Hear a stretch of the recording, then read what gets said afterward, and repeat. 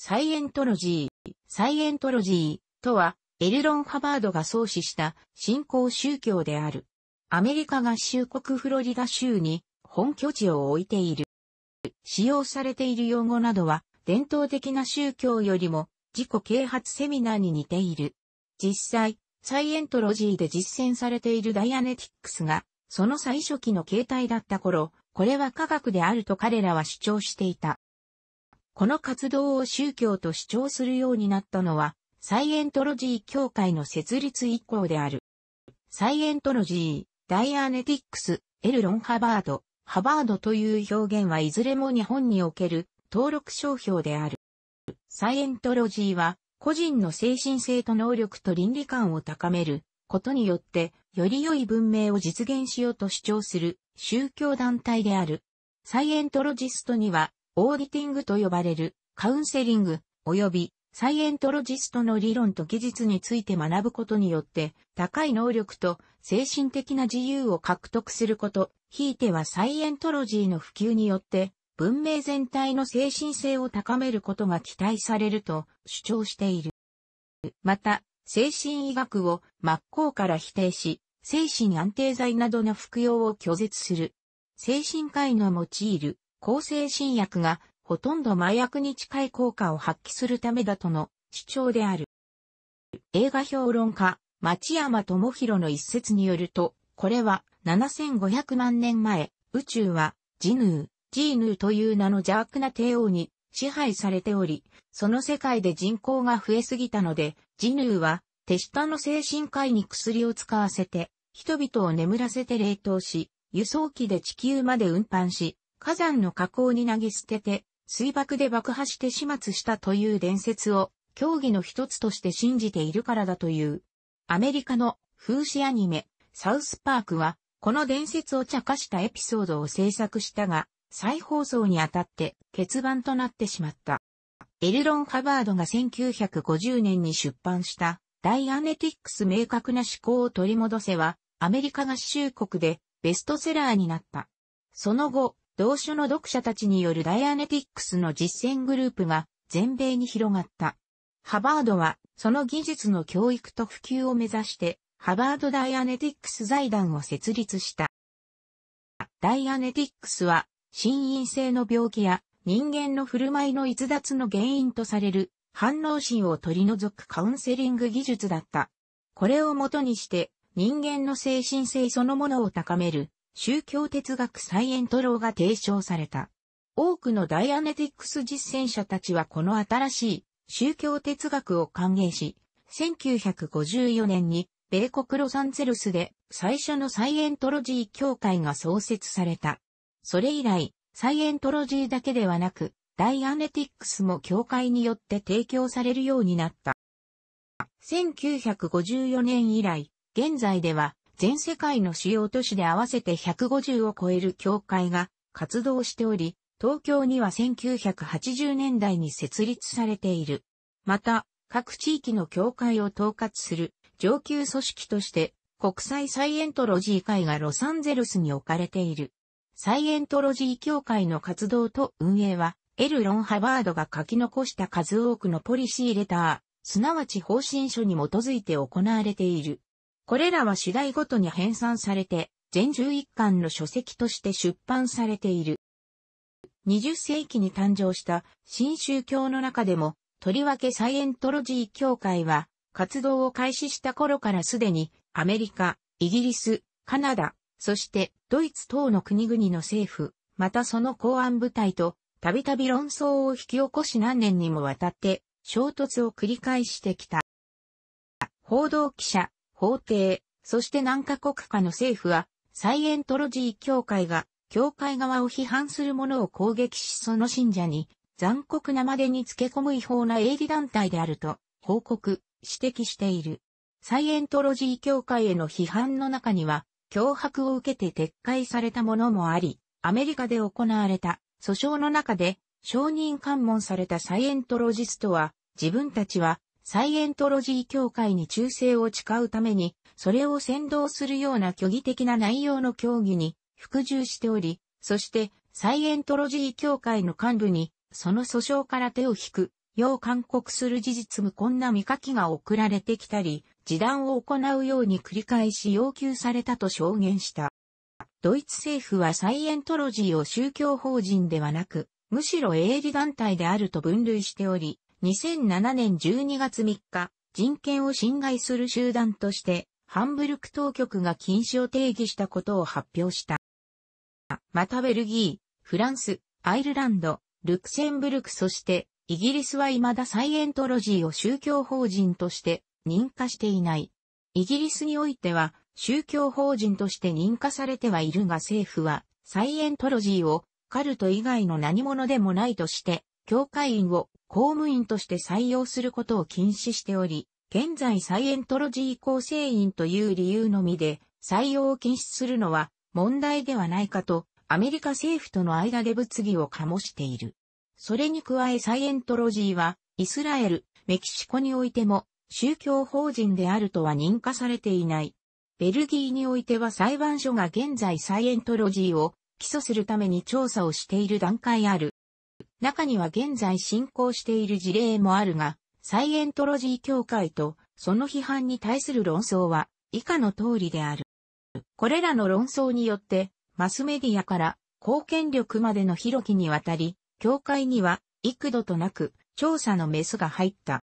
サイエントロジストは通常自らの心情に従うことを自由に認められているが、教会側を批判する者、また脱会しようとしている信者に対して、サイエントロジー協会はしばしばその強権的な方針にて攻撃、阻害することを推奨してきた。これに関連して、フランスにおいてはサイエントロジーを脱会した人を同団体の構成員が集団で、いじめ、自殺にまで追い込んだ事件で、有罪判決が出ている。この判決は、マインドコントロールに関する重要な判例の一つで、ある。現在では、サイエントロジー協会を宗教法人として認可し、免税を認めている国もあるが、一方では、宗教として認められないカルトであると認識している国もある。各国におけるサイエントロジー協会の分類の相違は、元来の宗教とサイエントロジーを語るにあたって大きな問題となっている。サイエントロジストである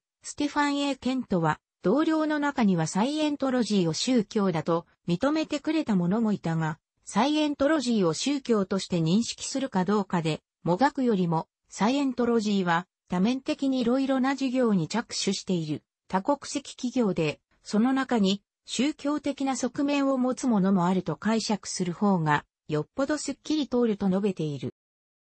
また同様に、サイエントロジーの言っている薬物リハビリプログラム、犯罪者の構成プログラムに対しても、賛否両論あり、欧州において、単なるビタミン剤を法外な値段で売りつけるビジネスを、組織に言っていたこと等が問題視されている。サイエントロジストの中には、サイエントロジー協会にオーディティングの際に収集された個人情報を許可なく使用されたと主張している信者もいる。協会側はオーディティングデータ情報は内部情報として外部に漏れないよう厳重に保管されていると主張しているが、協会は1969年12月16日に内部機密保持のためという理由でオーディティング得た個人情報を使用したことを認めた。サイエントロジー協会とその支援者は今までオーディティングで得られた個人情報が無断で使用されたり外部に漏洩したことは一度もなく、前述の行為はサイエントロジー協会の心情に抵触しているものであり、非常に恥ずべき行為であると主張している。しかしながら、カリフォルニア州立裁判所は、内部機密であると思われるオーディティングの資料を脅迫や嫌がらせのために入手する行為は悪辣であり、許容されるものではなく、オーディティングを受けた者の個人情報が教会と、教会と他の信者に、脅迫や精神的な嫌がらせをするために使われる可能性は否定できず、これらのような行為の存在性は十分に立証できるものであと認定した。またリバランド憲法伝は、裁判所はオーディティングを行う教会幹部の特権の廃止は認定している。しかし、オーディティングにおいて外部へのカウンセリング資料ので、あるいはその情報の使用は禁止されていない。叱るべき管理者の手から離れ外部にその資料を公開すると、信者の信仰の自由を損なう結果となり、それはまたサイエントロジー協会の心情と著しく、盾することとなるであろうと述べた。この判例に対し、サイエントロジー協会側は、メアリー・スー・ハバードによって記された、オーディティング資料の管理者への規則によって、オーディティングで得られた資料から、個人情報を参照ることがおそらく正当化されていたと考えられるが、そのような命令は、サイエントロジーの協議には全く含まれていないため、随分と前に禁止されており、オーディティングの資料を管理する機構自体が、エルロン・ハバードの残した意向にそぐわないと判断された際に、現在の協会本部が廃止することとなったと回答した。協会側の主張は、サイエントロジーは現存する世界の主要な宗教と比べても全く遜色なく、そのような宗教の教義と何ら衝突する類のものではないとしている。しかしながら、サイエントロジーには世界の主要な宗教、特にいわゆる唯一神信仰である宗教との心情、教義における著しい相違が見られるため、世界の主要な宗教とは相入れないものであると去る。それと関連して、サイエントロジー協会において、他の伝統的な宗教はカモフラージュのために、それを信じているように見せかける以外は許容されず、信者たちがサイエントロジー以外の宗教の行事、式典等に参加することは禁止されている。教会側は世論に向けて、サイエントロジーが正規の宗教であると認識させるために、大々的なキャンペーンを行っている。事実サイエントロジーは少なくとも宗教たるために必要である。何か超自然であり、究極的なものに対する心情、心情を裏付ける競技、また、心情と競技によって結ばれているコミュニティの3要素を保持しているためスペイン、台湾、タンザニア、ジンバブエ、南アフリカ共和国、オーストラリア、スウェーデン、ニュージーランドにおいては、宗教法人格として認可されており、これらの国々においてはしばしば宗教法人格として、免税等の法的保護の利益を享受している。しかし、大半のヨーロッパ諸国はサイエントロジーを潜在的な危険のあるカルト教団であるとみなしているか、あるいは少なくとも宗教法人格を得るための条件を満足していない宗教団体であるとみなしている。サイエントロジーの宗教法人格にまつわる問題は、しばしば論争を引き起こすが、その一方で、サイエントロジー協会自体は、1993年にアメリカ国税局が、協会はもっぱら宗教的活動ないしは、事前事業に従事ている宗教法人である認定したことによりこれらの問題はほとんど決着がついているものであるとの認識を示している。サイエントロジー協会とその関連団体は、オーディティングデータ、利益以外にも、総額数億ドルにも達すると考えられる、不動産を世界各地に所有している。エルロン・ハバードは、サイエントロジー協会に宗教の皮をかぶせて、協会とその関連団体に宗教法人として免税措置を享受させ、宗教法人とすることによって、サイエントロジーのプログラムで発生した果てに対する医学的な訴追を避けようとしていると生前、批判されていた。これに関連して、様々な人物、特に、ハバードと交流のあったハーラン・エリスン、ネイソン・ヒメル、サム・マーウィン、サム・モスコビッツ、セオドア・スタージョン、ロイド・エーバークまたロイド・スタート等の SF 作家と SF 研究家は、ハバードが様々な状況で裕福になるには宗教を創始すればよいと発言していることを聞いている。また、この他にも1980年5月、ハバードは本当に裕福になりたいのなら、自身で宗教をそう知るのが一番手っ取り早いだろうと、リーダーズダイジェストで述べている。教会側は、かつてエルロン・ハバードが1948年に行った講演の中でこのような発言を行ったと主張した者がいたが、その該当講演に行っていた人物2名に聞いたところ、ハバード氏は、そんな発言は、全く言っていないと言ったと主張し、それゆえこれは、ただの噂であると片付けた。しかし、サイエントロジー協会は、個人的にハバードが、そのような発言を様々な状況下行っているのを聞いたことがある。他の人物には全く言及していない。また、教会側はこの噂の出所は彼らの主張するところジョージ・オーウェルがハバードの言ったことを勘違いしたことにいるとされる。しかし20年間の教会生活の後1989年に教会を去ったロバート・ボーン・ヤングはオーウェルの話は彼の勘違いだと片付けることもできるかもしれないが、実際私はハバードの裕福になるためには宗教を創始するのが良いという類の発言を聞いたことのある。彼が SF 作家として活動していた頃の友人3人に会ったことがあると発言している。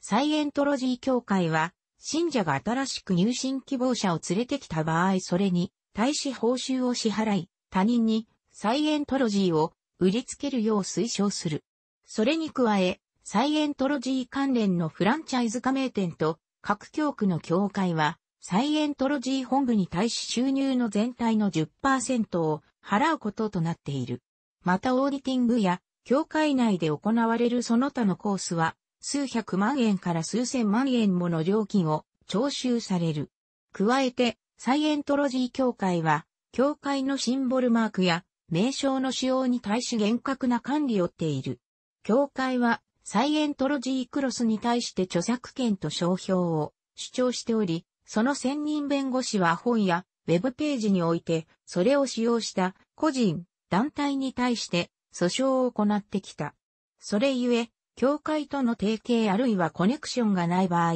個人団体が自分たち自身でサイエントロジー協会と同様のサービス提供するのは、甚だ難しい。サイエントロジー協会は、許可なくオーディティングを提供しようとしたり著作権や商標侵害している者に対して数多くの訴訟を行って、そのような行為の撲滅を図っている。サイエントロジー協会はドイツにおいて公式に宗教法人格を取得しようとしていたことに関連して、1996年頃、バーデンイコール、ビュルテンベルク州はドイツにおけるサイエントロジー協会の活動を評価るために査定を行った。この調査の結果、協会の主な収入源は、オーディティング等のコースの提供や様々な観光物によるものであり、例えば、人生の浮き沈み、ハバードの人生の鍵、集中的オーディティング等のコースは182.50マルクから3万マルク、すなわち日本円にしておよそ1万2000円から200万円ほどかかるということが分かった。その調査の結果からは、信者からの月ごとないしは、隔月の会費は伺い知ることはできなかったが、数億円は下らないと考えられている。2006年6月、ブックエキスポアメリカでダイアネティックスレーシングチームがナスカーに参加すると表明した。その際ケントン・グレーの運転した番号27番のフォードトーラスには巨大ダイアネティックスのロゴが見て取れた。サイエントロジー協会は反精神医学運動に参加している団体の一つとして名を馳せており、心理学の体系と実践に公然と反対している数少ない団体のうちの一つである。それに加え、第一次世界大戦の勃発、ヒトラーやスターリンの台頭、アメリカにおける教育水準の低下、ボスニア紛争とコソボ紛争の勃発、アメリカ同時多発テロ事件の発生はすべて精神科医に責めがあるとしている。これらの問題に関する教会側の意見は主に、教会が出版しているシチズンコミッション、オンヒューマンライツやフリーダムマガジンに記載されている。1990年代、インターネット上で増大するサイエントロジーへの批判に対処するために、教会側は大規模な行動に打って出た。教会は彼らの呼ぶところの著作権テロリストの行うオンライン上におけ、サイエントロジーの著作物のルフに対して行動を起こすとの声明を発表した。それに対し、真の目的はインターネット上で教会側に対して自由に批判することを抑圧することにあると批判する者もる。1995年1月、サイエントロジー協会の専任弁護士だったヘレナ・コブリンは以下の点に基づき、ニュースグループ ALT レリジョンサイエントロジーに対してネットニュースサーバに購読者情報を削除するメッセージを送りつけることによりグループの機能停止に追い込もうと試みた。しかし実際には、ほとんどのニュースサーバーは大量のトラフィックを受け取った際には、このようなコードを無視するように環境設定されていた上、ニューグループメッセージは、設定を回復していないサバも、早急に修繕したため、この無グループメッセージによる攻撃はほとんど意味がなかった。むしろ、この攻撃に対して、言論の自由に基づき世論から多数の批判が浴びせられた。サイエントロジー協会はそのニュースグループやインターネット上に協会側に著作権のある文章を投稿した者に対して訴訟を起こし、概して著作物に対する締め付けを強めている。協会側は論争を引き起こしている著作権延長法を支援しており、さらに同様に論争の種となっているデジタルミレニアム著作権法はサイエントロジー協会から強力な支援を受け、特にはアメリカ合衆国のインターネットプロバイダーにサーバからサイエントロジー協会の著作物を削除するよう求めた訴訟に非常な影響を受けている。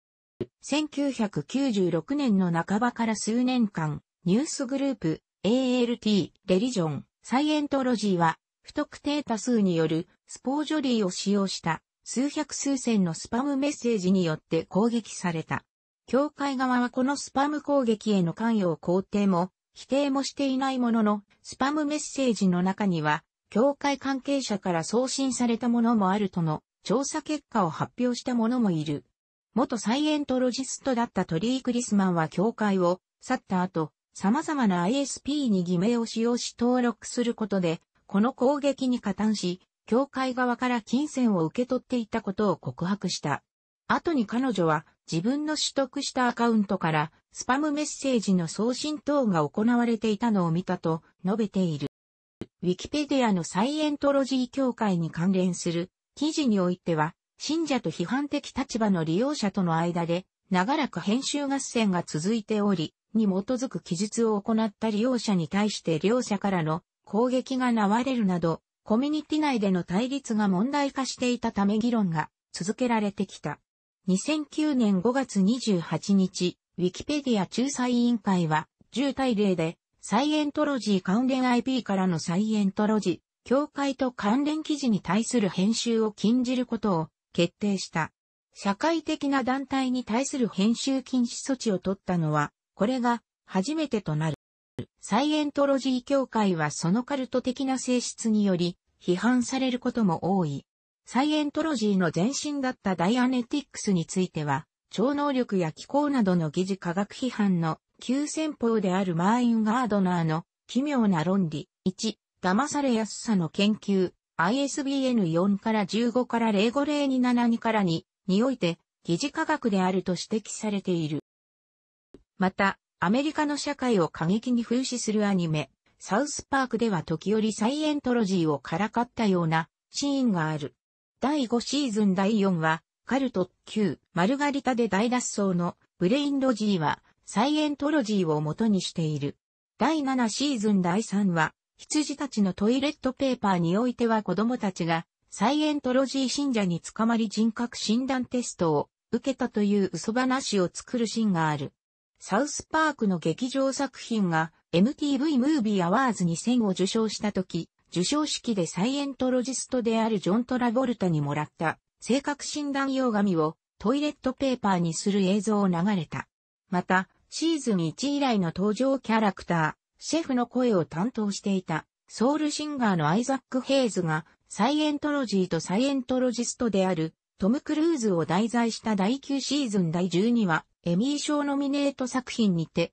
自らが進行しているサイエントロジーが批判されたことを理由に降板した。なおこのエピソードのエンドロールに流れるスタッフ名はすべて偽名が使われている。これを受けた第10シーズン第1話は、シェフがサイエントロジーを連想させる団体に洗脳され、小児性愛者になってしまった末に死亡するという同協会を暗に批判する内容となった。この回のヘイズのセリフは過去のエピソードのものを切り張りして作られた。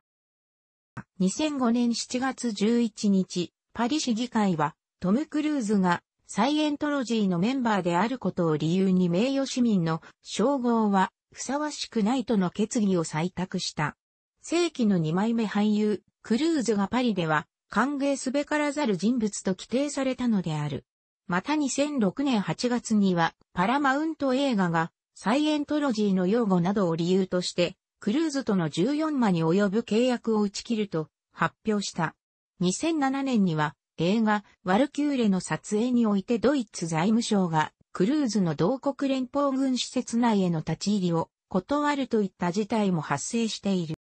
1971年、アメリカ合衆国地方裁判所において、E メーターには何ら病状の診断、治療、予防に役立つものではなく、医学的にも科学的にも全く身体機能の向上を期待することはできない、との判が下された。これに対しサイエントロジー協会は出版した本などの中で、E メーター単体では効果を期待することはできない。しかし E メーターは精神状態とその変化を計測することのできる電気機であり、オーディティングの精密さと効率を向上させることができる。E メーターは何も病状の診断、治療、予防に有効であるわけではなく、精神的な改善を目的に使用されているものである、述べている。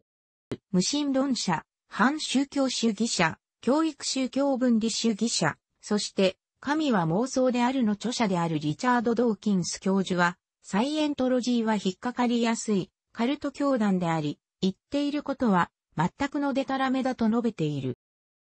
楽しくご覧になりましたら、購読と良いです。クリックしてください。